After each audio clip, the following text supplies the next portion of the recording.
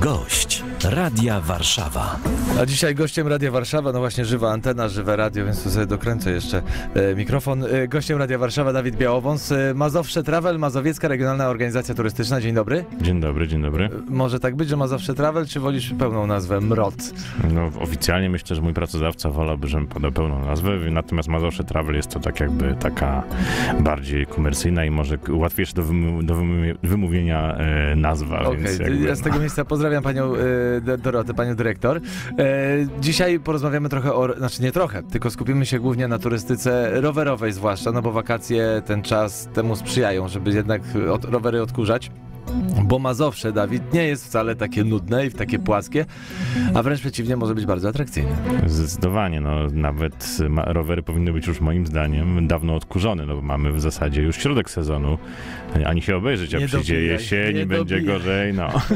nie, no oczywiście pół żartem, pół serio, ale tak, Mazowsze, ym, okej, nie ma y, gór jakichś spektakularnych, nie ma morza, ale są pojezierza, są pagórki, są przepiękne rzeki, wzdłuż których coraz śmielej i więcej mamy tras rowerowych i e, chociażby od tego warto zacząć. No, ja też chciałem zauważyć, że to w województwie, no na granicy województwa mazowieckiego, ale jednak odbywały się Mistrzostwa Polski w kolarstwie szosowym. E, też jeden z wyścigów Tour de Kurpie, czyli Mazowsze i wokół Kurpi wyścig. No właśnie, te Kurpie trochę takie zapomniane, wydaje mi się, są takie zatarte, przetarte. Poza tym też nie zdajemy sobie sprawy, jak na przykład piękna jest e, trasa szlakiem chociażby Józefa Chełmońskiego. Dokładnie. e, To ten tych Sobociany szlaków- oglądał, to dla młodzieży powiem. Tak, tych szlaków i tych e, rajdów można by wymieniać, powiem szczerze. Mamy taki na przykład produkt, który nazywa się Mazowiecki Gravel. E, w zasadzie e, niedawno, bo w połowie czerwca skończyła się czwarta edycja. Rowerzyści, gravelowcy jechali wokół Mazowsza, robili taką pętlę, e, można powiedzieć, że w kształcie naszego województwa, no bo bardziej bliżej e, granic. E, no i jeżeli chodzi już tak, jeżeli teraz gadamy, rozmawiamy sobie o tych takich bardziej zawodowych aspektach turystyki rowerowej, no to w tą sobotę najbliższą rusza Race Around Poland, czyli takie można powiedzieć troszeczkę nasze Tour de Pologne, tylko no jakby trochę, trochę inna impreza, ale jakby rozpoczyna się Konstancina Jeziorny, czyli pod Warszawą i e, najdłuższy wariant, najdłuższa wersja to jest aż 3600 km i 33 tysiące przewyższeń. To jest mniej więcej, tak obliczyłem sobie jakby... Że to jest dosłownie dookoła Polski. E, dosłownie dookoła Polski. Jedziemy najpierw, znaczy nie jedziemy, ja nie jadę akurat, ale, ale, ale e, uczestnicy jadą e, najpierw w góry e, na Podkarpacie e, i objeżdżając potem jakby zgodnie z ruchem wskazówek zegara Polskę wracają przez e, zachodnią, przez wschodnią ścianę, nad morzem też się pojawią i wracają do Warszawy. Spojrzałem na ruch wskazówek zegara, bo to jest zawsze naj, naj, najgorsze pytanie kontekstowe. W którą stronę idą wskazówki zegara? No właśnie. W prawo. to dodajmy, że w prawo się kręcą. E, I to jest impreza już taka dla bardziej wytrawnych graczy, nawet rzekłbym zawodowców, prawda? Tak, chociaż są etapy, e, można też z tego, co się orientuję, startować grupowo, więc e, no myślę, że jest to do osiągnięcia dla wielu osób, które mają jako taką kondycję. Może ja za rok się wybiorę, spróbuję. O, proszę bardzo, to trzymam za ciebie kciuki. E, dodajmy jeszcze, że Mazowsze jest też, rowery jako są dobrym nośnikiem, że tak powiem, reklamy Mazowsza, kolarstwo zwłaszcza, bo myślę o ekipie Mazowsze Serce Polski, która promuje województwo mazowieckie. Jedyna, no, jedna z dwóch naszych takich stuprocentowo zawodowych ekip w Polsce. Tak, oczywiście. Myślę, że możemy się tym pochwalić równie mocno, jak chociażby zespołem Mistrz Polski zresztą w barwach. Mazowsze. Tak, tak, dokładnie. No Zresztą mistrz Polski w, w barwach Mazowsze Serce Polski jeździ, ale dobra, my wracamy do województwa e, mazowieckiego na, na nasze tereny. E, Od czego zacząć? Jeżeli ktoś teraz nas słucha i myśli sobie, ła, dobra, ruszę się z Warszawy i ten pierwszy trip, taki wiesz, wyjazd rozruchowy, bo tam są fajne trasy też takie do 30-40 kilometrów. Tak, tak, tak, właśnie. e, ja za chwileczkę powiem, jakby gdzie szukać informacji, natomiast e, osobiście właśnie zacząłbym od tego, żeby się nie zniechęcać, żeby może e, jakby właśnie, tak jak wspomniałeś na początku, odkurzyć ten rower, nasmarować, powiedzmy przystosować Kask, się. kask, koniecznie kask. kask. Tu głowę Bez- urywam przy samych kostkach. Bezpieczeństwo to jest w ogóle no, temat absolutnie obowiązkowy i dla mnie no bez tego to, to nie ruszamy się w ogóle, nawet na krótką przejażdżkę. Natomiast e, tak, jeśli chodzi o e, o te trasy, no to naprawdę wokół Warszawy, z samej Warszawy można już w wielu, mi- w, w wielu kierunków bardzo wygodnie wyjechać sobie ścieżką lub szlakiem rowerowym.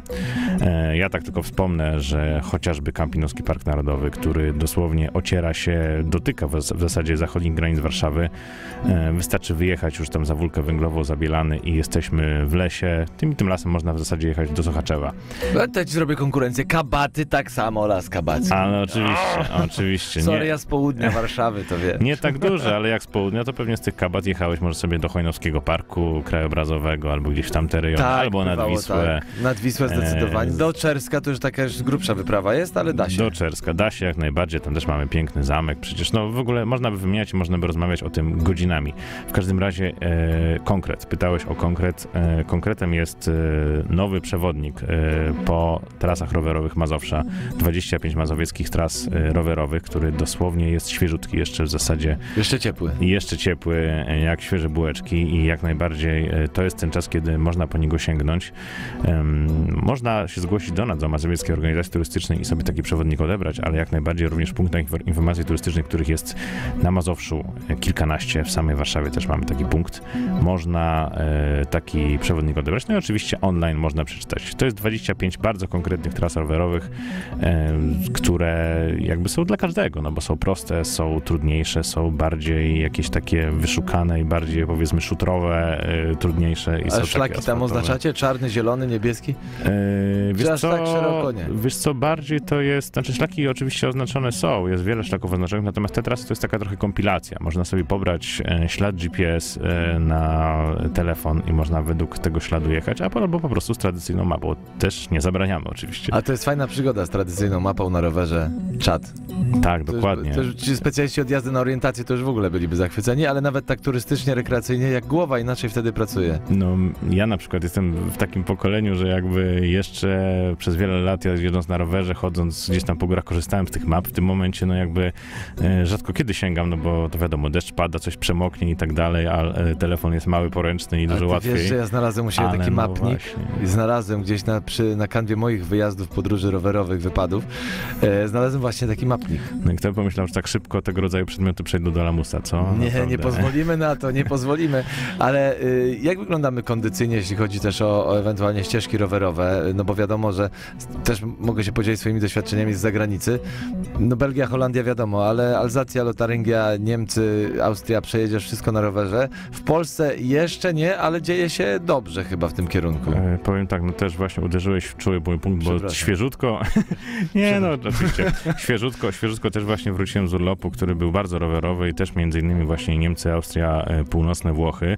E, i tam tak, tam te szlaki rowerowe są naprawdę fajnie zrobione, oznaczone i jakby przejezdne są takim gotowym, przemyślanym projektem.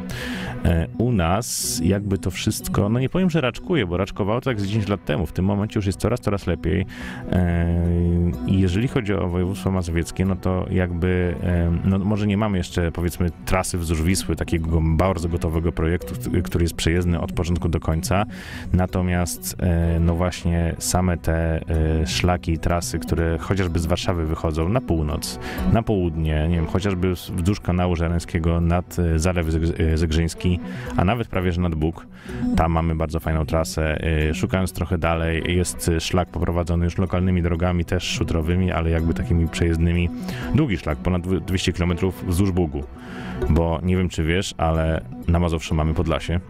Nie, E, nie, konkretnie no nie jakby, jakby, jakby w województwie mazowieckim mamy Podlasie. Podlasie, mamy E, swoje Podlasie. Tak jest. I, jakby jestem już bardziej podlasko, jestem już bardziej tak, e, no już Wiem, bo geograficznie, inaczej. tak. Tak, geograficznie jest to Podlasie, natomiast y, administracyjnie w tym momencie jest to. Mazowsze i na samym wschodzie y, Polski, tak już powiedzmy rejon Siemiaty, czy tylko po drugiej stronie Bugu, właśnie mamy województwo mazowieckie i tam też biegnie ten szlak nadburzański.